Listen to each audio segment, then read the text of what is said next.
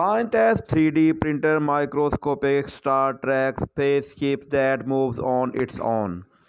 CNN, a team of physics at a university in the Netherlands, have 3D printed a microscopic version of the USS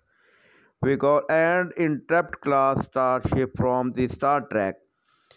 The mayor Voyagers, which measure 15 micrometers (0.015 millimeters)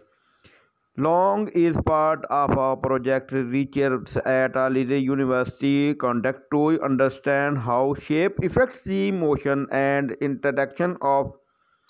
microswimmers. Microswimmers are a small particles that all move through liquid on their own by interacting with their